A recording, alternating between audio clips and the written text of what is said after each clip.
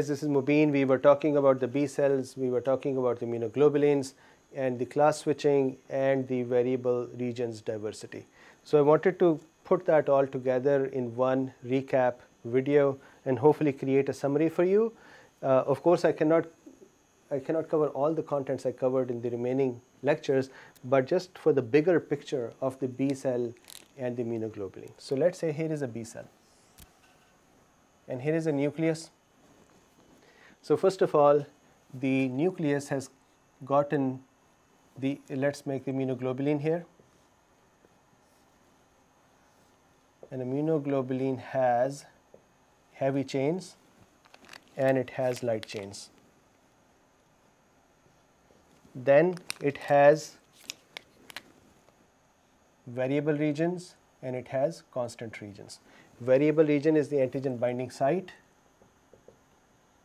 antigen binding site and constant region is biological functions. We will actually do the functions and the other things later on.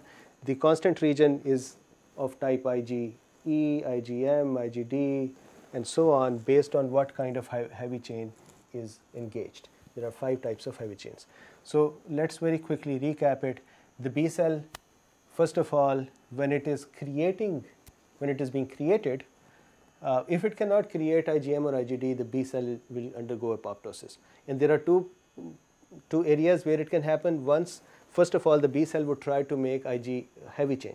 If the heavy chain can be formed, it would live, otherwise it would die once it can make the heavy chain, then it would try to make the light chain. If it can make the light chain, it tries kappa light chain first. If it can make it, it would stay, it would live. Otherwise, it would try to make lambda. If it cannot make lambda, it would die. Otherwise, it would make lambda. That is why about 60% to 70% is the kappa chain and 30% is the lambda. So once the B cell has become productive that it can make immunoglobulins, now the question is what is it going to do? How would it create the diversity on the binding site? there are multiple, there are millions of antigen pathogens uh, or the antigen types and so the B cell should be able to connect with them. One B cell would produce one kind of immunoglobulin and that one kind of immunoglobulin can bind with one kind of antigen. When I say one kind, that is on the binding site, the idiotype. The otherwise one B cell can actually create IgM and IgD simultaneously, then it can create uh, IgG, IgM, uh, sorry, IgE and IgA. So now let's talk about how that happens. The variable region of the heavy chain, that is this part, is created by V, D and J gene pools. The light variable region of the light chain is created by V and J gene pools. The DNA rearrangements that occur over there, those re re rearrangements um, occur in this way that we'll pick up one gene from the V, we pick up one gene from the D, one gene from the J. First D and J are connected. The enzyme that helps in this one is RAG1 and RAG2. These enzymes connect the genes together. Then what happens is that there is a, another enzyme endonuclease which is called Artemis that would come and that would cut the um, so sorry, when the RAG1 and 2 work with the DNA, they would create a hairpin loop on the DNA and separate out the rest. The Artemis would come and that would um, nick the DNA and create two overhanging strands. Those strands are then repaired with TDT or elongated. That would create junctional diversity. That only happens on the variable region of the light chain, a heavy chain. VJ light chain does not have the D in it, so there is no junctional diversity and there is no junctional flexibility. There also is no P and N nucleotides on the variable region of the light chain for this reason. Finally, the uh, polymerases would come and they would join these and finalize the base pairs in the mutating parts and ligase would come and that, that would connect it. So that would be the way junctional diversity with DNA rearrangement occurs is done. Then what happens is that the, the light chains, when they're formed, and, then there will be heavy chain too. So let me just make heavy chain gene here as well. So me, C mu and C delta. These are the first heavy chain uh, molecule genes that are active and that are attached to this gene.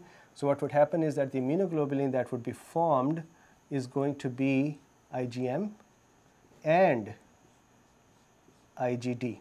So what would how would that happen? Once the messenger RNA comes out into the cytoplasm, it is alternatively spliced. So some of the messenger RNA would be spliced so that C mu is left on them and so they would make IgM.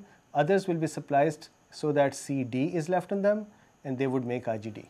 So DNA rearrangement for the variable region and the alternate splicing for the G or M.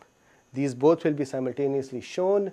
That would then cause this T B cell to become functional and be able to attach with some T cell and antigen. That would cause a T cell to give the signal back IL4, IL5, then CD40 combination and B7 combination with sometimes even IL2.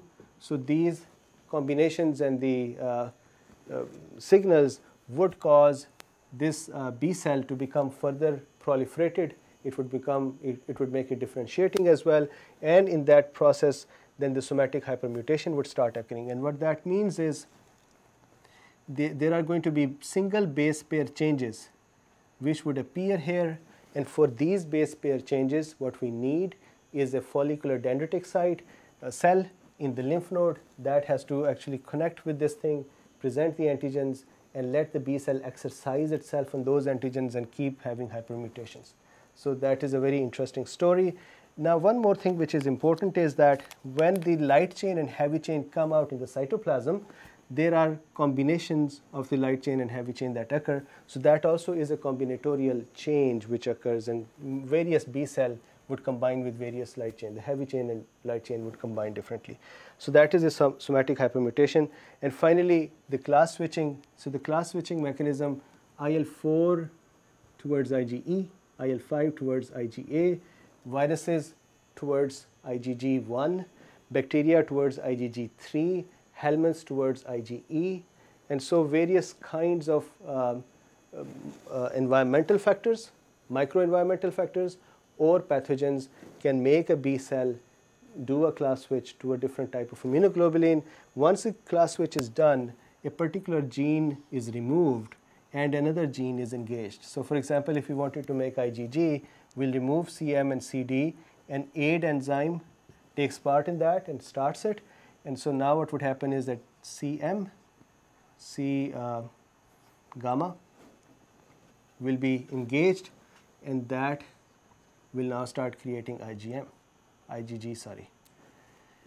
Now, uh, immunoglobulins can either be released in the uh, fluids or they can stay on the surface.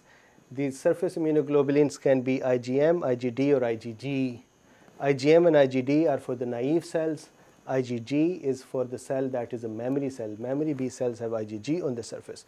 Now, in genetics mechanism, the reason for the for the immunoglobulin to be able to stay in, if we want the immunoglobulin to stay on the cell surface, then what we do is we create a poly A tail with the constant heavy chain region. That tail is hydrophilic. So hydrophilic molecules do not like to go out or they like to stay outside the water. So once that IgG goes to the surface, it just stays here or IgM or IgD. But if we want it to be released out into the bloodstream, then we'll not put the hydrophilic, instead we'll put a hydrophobic tail here and what did I do? So this is the other way around. Hydrophilic will take it out because it loves water and hydrophobic would make it, it hates water and that would make it stick here. So that is a quick recap of the uh, genetics. So thank you very much and we will continue with the immunoglobulin functions and types. Thanks.